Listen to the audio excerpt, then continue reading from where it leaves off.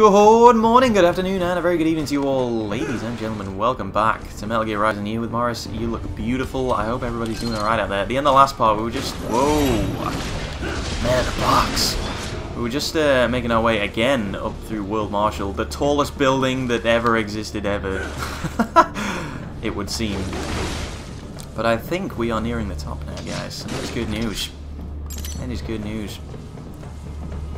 And here's a, a, an interesting battle that comes up next, actually. The server room's ahead?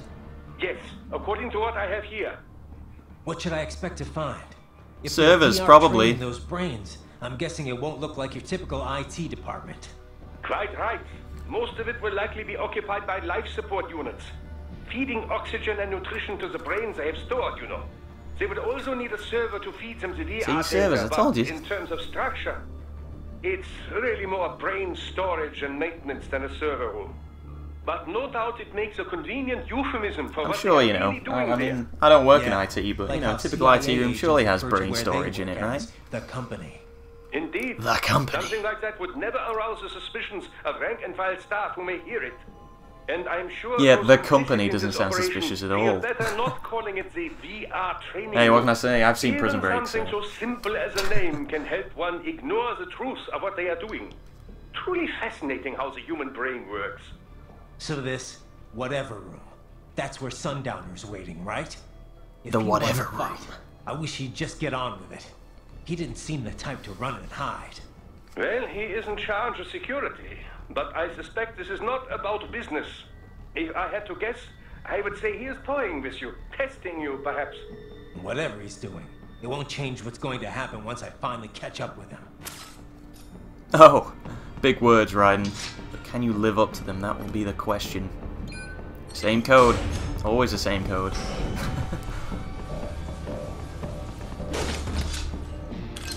it's like a Mega Man-esque boss corridor, you know? you just know something big is gonna happen. And lo and behold, it does! Troll. She's No. A body, if I had to.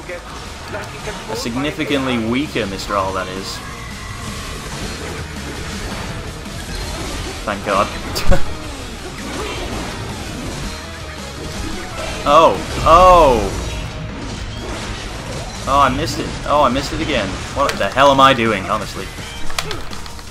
Raiden, this is really not the time. Come on. Let's just pull it together. Why is he aiming at that? Come on.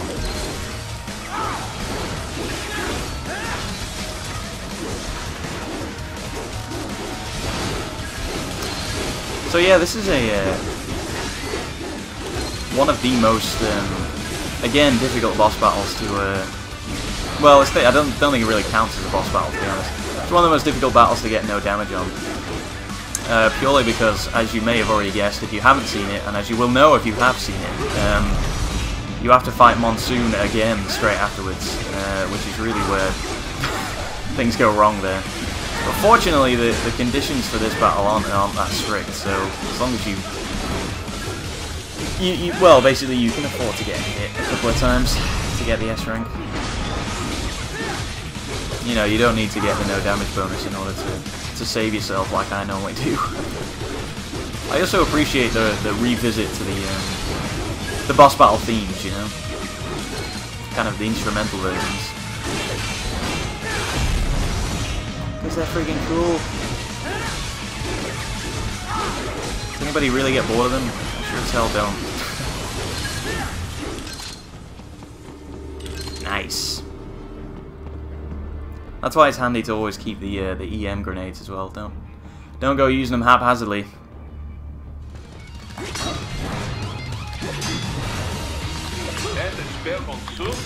Well, if it's AI controlled, it should pose no problem for you. Fortunately, they are significantly weaker as well.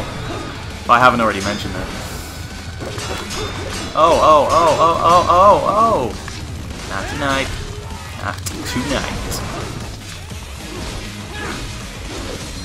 And obviously, uh, as you might have guessed, he doesn't have his scripted events in this either.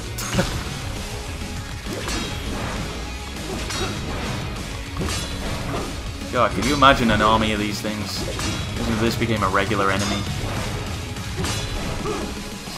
Officially the hardest game in the world.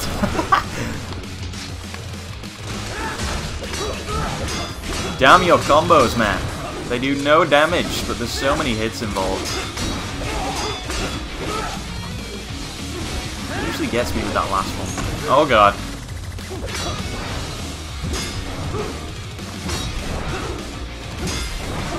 You can actually get a few cheeky hits away if uh, you're quick enough.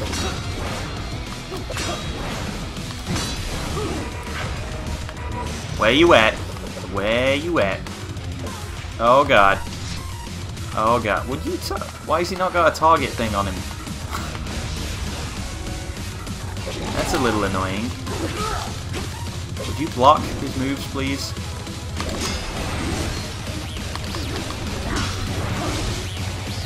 Why can I not target this guy?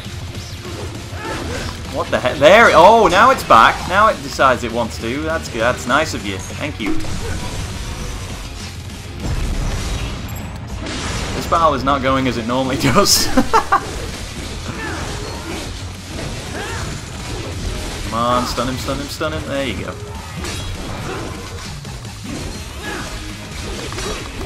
Oh, oh, oh, oh, oh. Not tonight, not tonight.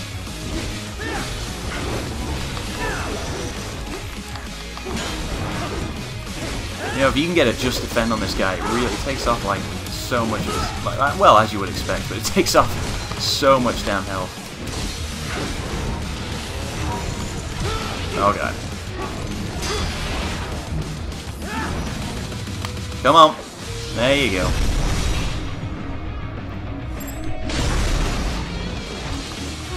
And that should be the end for you, Matsuri. Oh yeah. That will not be an S rank. Oh! What do you know? Beautiful. What can I say? I surprised myself. Don't disrupt the students while class is in session. That voice. I believe you're familiar with the lesson plan. The same regimen you went through in Liberia. Effective program.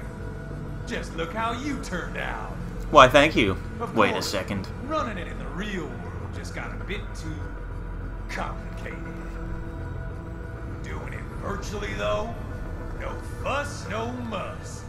Straight to the brain. It's like a dream. Well, maybe dream is the wrong word. They do kill some POWs, some civilians. they enjoy it, though. We give their pleasure centers a nice big jolt every time. Oh great, so they're running around killing civilians with a huge big cyborg boners, great. It's not like a dream I've ever had. Wait. Another thing you have in common. I chose this. I chose to be a monster. Sort of. Are cruel. All people are by nature. They just lose touch with it as they get older. Start thinking they know right and wrong. That's immoral. War crime this, code of conduct that. Kids, you can mold, manipulate it into performing all kinds of atrocities. And there's nothing like a good atrocity to keep a war going. That's why I'm shutting you down. Oh, you just don't see the bigger picture, do you?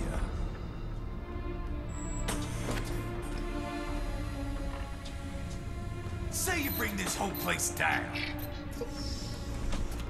Waltz out of the rubble with all these precious brains. That's the plan. Nothing changes. All the guys in charge are long gone. We've got offices around the world. I'm gonna need a bigger rucksack for all these brains. We're just suppliers. We don't create the market for war. And who does?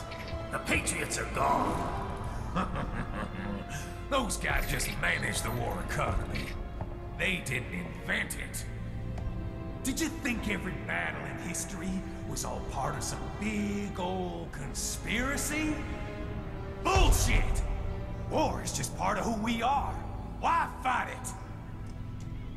Anyway, none of this will matter in three hours. Demand for PMCs is about to skyrocket. Like the good old days after 9-11. I have a real problem with that line, What are you talking about? which I'll explain after. Now. Follow me.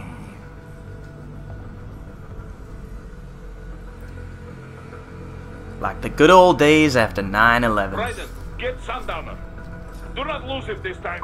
So what's wrong with the good old days after 9-11? Well, I am a big fan of things that um, incorporate fiction into into fact. You know, that's why I love Metal Gear Solid 3, and I think that's why a lot of people love Metal Gear Solid 3 because it works in stuff, and and it works with MGS3 because you can use things that were going on in the time in order to build a story around that. You know, but because that was the beginning of it, it worked, and it kind of suggests that there was a separate timeline. You've got real life, which is what we live, and then you've got the MGS universe, which is where, you know, people are building Metal Gears left, right, and center. But the fact that you throw in the line "good old days after 9/11" suggests that there isn't an alternate timeline going on here. That everything happened just as we know it IRL, and I kind of don't really like that. I like to think that MGS is, you know, it's, it's a separate thing kind of suggests that even though all of that stuff happened, you know, Peace Walker and whatever, that 9/11 somehow still, you know, somehow still occurred, and with that, everything else. You assume that because 9/11 happened, we're literally living in the real, what, you know, our universe, you know, as if that guy hit me. Come on. So yeah, I don't know. I don't really like that line myself. Oh my god. What the hell? He just stunned himself. One thing I haven't mentioned about these enemies is that uh, when you they normally they appear in twos, but um, when you kill one of them, the other will go into like a berserk mode where he glows red, a bit like Raiden's. Uh, what is it, Ripper mode, I guess. So you want to watch out for that. That's an optional battle, by the way. I'm sure you already guessed that. I got Boris like, quick, get Sundowner. I just immediately run in the other direction. Where are you going, Raiden? Stop it. Stop disobeying orders. Alrighty, what do we got? Box number one. What are the hollow chips? What exactly are they? I mean, I know I get BP, but what is there anything on them? Are they like magazines or something? hollow chip, issue 72. Alrighty. And I believe there's a chest over here as well. Indeedy. Good stuff. What do you got for me? Oh, data storage. Come on. That's no fun. Alright, Sundowner, now I'm ready. Now I've got all my items.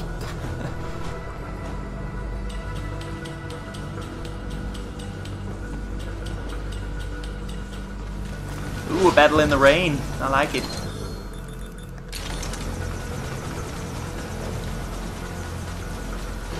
Look at him just waiting for me. Cocky son of a sundowner. Son of a sundowner.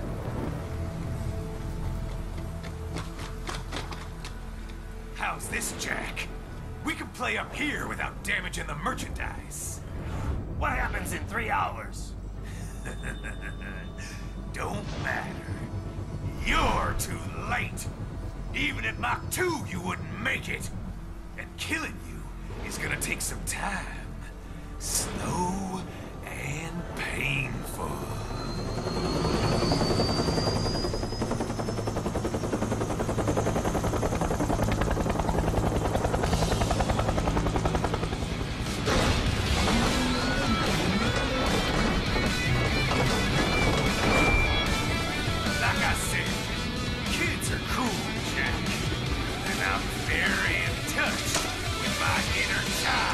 Another nice design. I got no problem with this. This is exactly how you would expect somebody in charge of security to look in this in this age, you know. oh,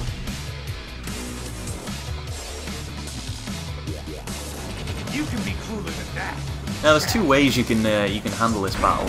Um, I like to, as you can see, he's got this this weird sort of shield thing going on. Um, I actually like to, to keep the shield on him, be honest. Or at least part of it. Um, simply because he's a lot more predictable that way.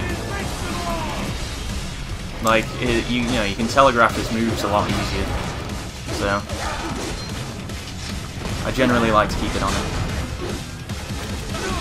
As long as you sort of get around the back of him and everything. There's not a lot you can really do, to be honest. Like, he'll attack um, like that occasionally, but uh, it's easily parryable, if that's a word.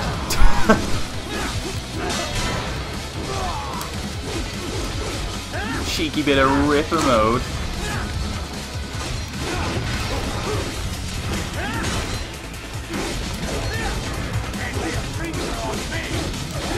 Like, he becomes a lot more dangerous if, uh, if you take the shield off of him.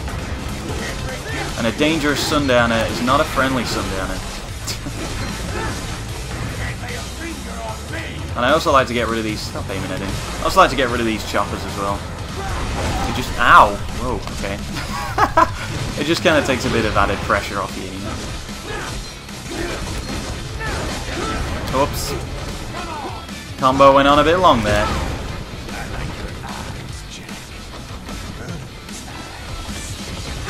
You even see my eyes? I have a mask on. Oops.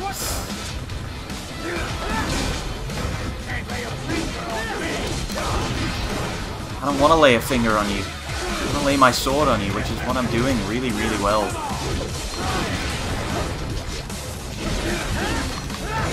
I'm doing like no damage. I might as well take these things off. Oops.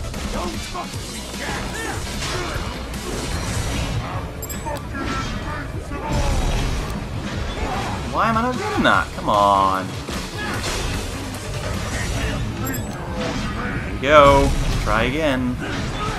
How is that not working? Frick.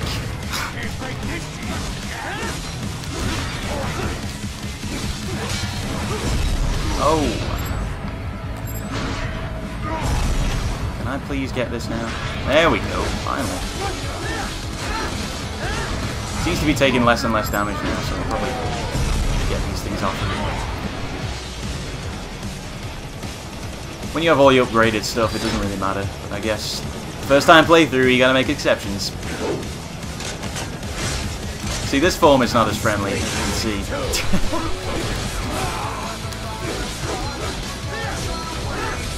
not that it would cause any sort of problems, but...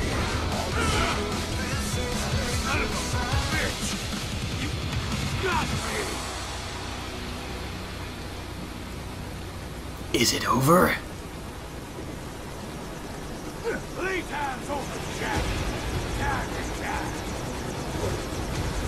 Go!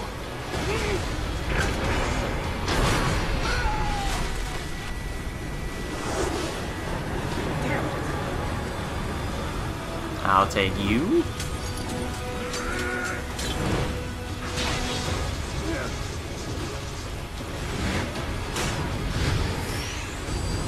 Again, this was a perfectly good strategy for getting up World Marshal, but apparently that's just that's not that's not stealthy.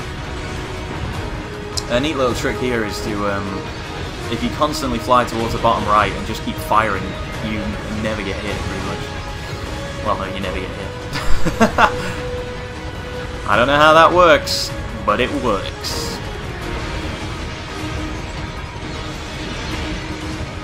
Who am I to complain? Oh, oh, oh, oh, oh, oh.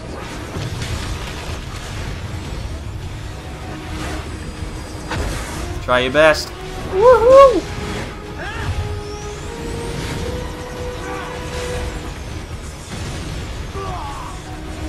Oh, let's just get one in the head. There you go.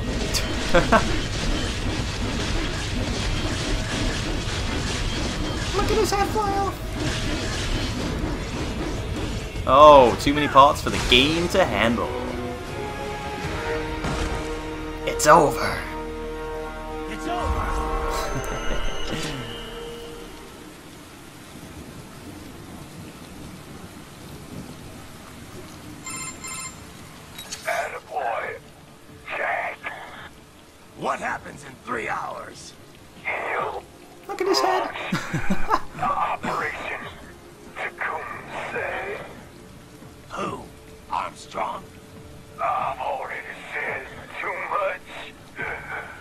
Oh, Sundowner, you old gossip. Call to make.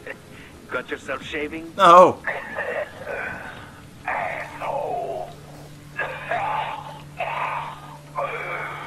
He's good. Real good. You knew this would happen, didn't you? Well, you get your wish. Up to you now. Sam. Raiden here. I've taken Marshal HQ. Yeah, yeah. I have just entered Denver airspace. Don't will just say there soon. yeah, yeah, as if it was nothing. Raiden, what Sundowner said, I know. Anything that'll rival 9-11 cannot be good. and in three hours, maybe less. He said even Mach 2 could not get there in time. If he was serious, that's over 4,000 miles away.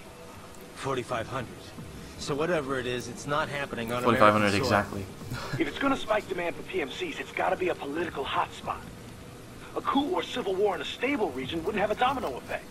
And they'd want to draw in a superpower. No. What? The president. He's on his way to Pakistan. If something happens to him there, Oh, shit. The War on Terror Part 2. contact the military. Official channels are frozen since Mexico. Unofficial channels will take too long. Besides, what's our proof? Who's gonna believe us over World Marshal? Then we have to get there first. Невозможно. Impossible. It is the other side of the planet. Even if we were in the world's fastest jet right now, i- it's not even close. Hold up. It's not a jet we need. Courtney? An We need a RLV time with machine. Time to spare. I mean an RLV. That's what that's what I meant. That's... Mach 23 if we're talking one atmosphere. 17,650 miles per hour. That would make Pakistan in under half an hour. Right. Contact Solis. Will do. Bada boom, end of chapter 4, A rank, thank you very much. That's nice, that's nice, I like that, it looks pretty. Well, I gotta pause it for now, guys, but thank you very much for watching this episode of Metal Gear Rising, and I do hope to see you in the next one, guys. Custom Cyborg Body! See you in a bit, guys, see you later.